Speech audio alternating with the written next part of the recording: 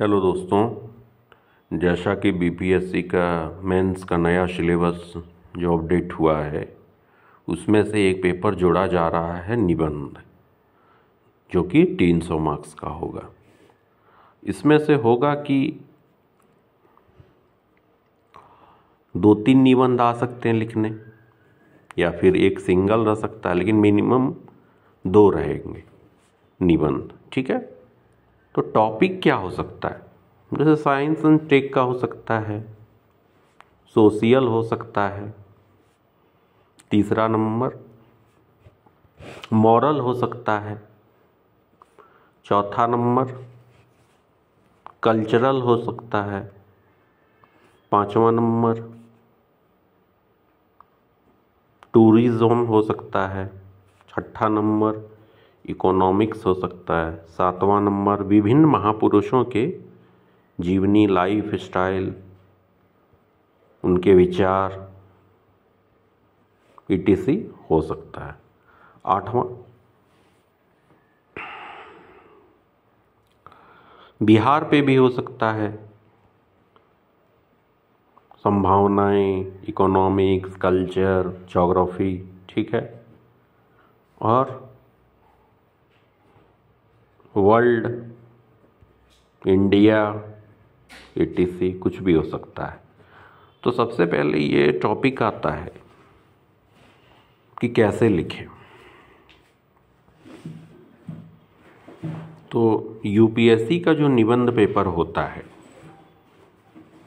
जैसे आपको एक मुहावरे के तौर पे दे दिया जाता है सपोज़ कि जब तक आप अपने आप को नहीं जीतते, दूसरे को जीत नहीं पाएँगे। ये है। इस तरह से आपको लिखना है इस पर तो इसमें है कि आएगा क्या? तो सबसे पहले इसमें मॉरल आ जाएगा। ठीक है? विभिन्न महापुरुषों का जीवनी आ जाएगा, उनके विचार आ जाएगा। इसी तरह चलते रहता है ये। उसके बाद है कि कहाँ से टॉपिक लाएँ? तो सबसे पहले है कि प्रैक्टिस डिबेट विभिन्न जो आप डिबेट देखते हैं समाचार में, ये में, ये नहीं कि दूसरा वाला डिबेट जाके देख लिए, लड़ रहा है, झगड़ रहा है, वो सब डिबेट नहीं। विभिन्न जो सरकारी वेबसाइट का जो डिबेट होता है विभिन्न मुद्दे पे, मान लीजिए अभी चंद्रमा पे कोई मिशन है तो उस पर जो डिबेट हो रहा है भी न्यू एजुकेशन पॉलिसी पे डिबेट हो रहा है। वो सब डिबेट जो है, ये काफ़ी बेनिफिशियल होता है। अब है कि उसके बाद तो प्रैक्टिस डेली राइटिंग रोज़ आप एक निबंध खुद से लिखें, उसको खुद से जांचें। अगर आपके आस पड़ोस में कोई हैं, या फिर कोई अपने रिश्तेदार में भी ब्यूरोक्रेट्स बने जो सामने ही रहते हैं, या फिर कोई दोस्त है जो तैयारी करता है तो उससे आप जाँच करवा सकते हैं। विभिन्न वेबसाइट के माध्यम से ऑनलाइन भी आप जाँच करवा सकते हैं, कहीं पे इनरोल करा के। बहुत सारे अच्छे टीचर हैं। उसके बाद टॉपर्स कॉपी को भी देख सकते हैं कि टॉपर्स ने कैसा लिखा था, उसको प्रैक्टिस में कैसे मार्क्स आया था कौन कौन से टॉपिक में कैसे वो था स्टार्टिंग कैसा था, बीच में क्या लिखा था लास्ट में क्या लिखा था। एक शैली जो है और आजकल जो है एक यूट्यूब में बहुत सारे मटेरियल्स रहते हैं, बहुत सारे टॉपर्स के कॉपी भी रहते हैं कि किस तरह उन्होंने निबंध लिखा है,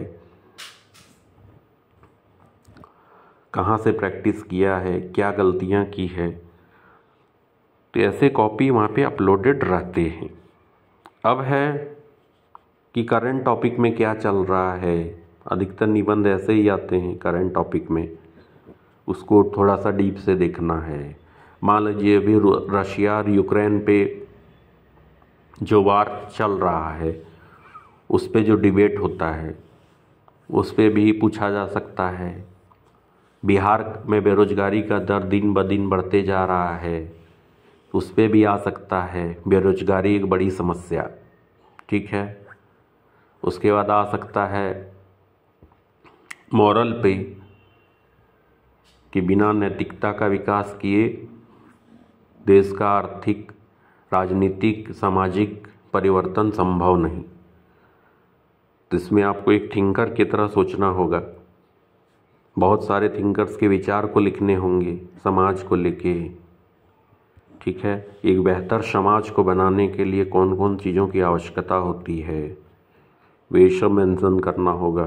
तो आमतौर पर ये क्या है कि खुद के प्रैक्टिस पे है। निबंध मतलब अपने का विचार। ये नहीं है कि रटा रटाया लिख दिए हो गया।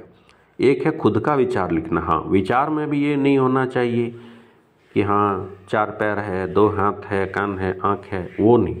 विचार इन द सेंस आपका थिंकिंग क्या है उस विषय पे। आप उसको कैसे मतलब समाज को परोस रहे हैं? क्या उसको देख रहे हैं? और एक चेक करने वाला क्या चेक कर रहा है? कि उसको मिल क्या रहा है? कि ये जान क्या रहा है? विचार क्या रख रहा है? ठीक है? इस तरह से आप प्रैक्टिस कर सकते हैं। ठीक है? थैंक्स।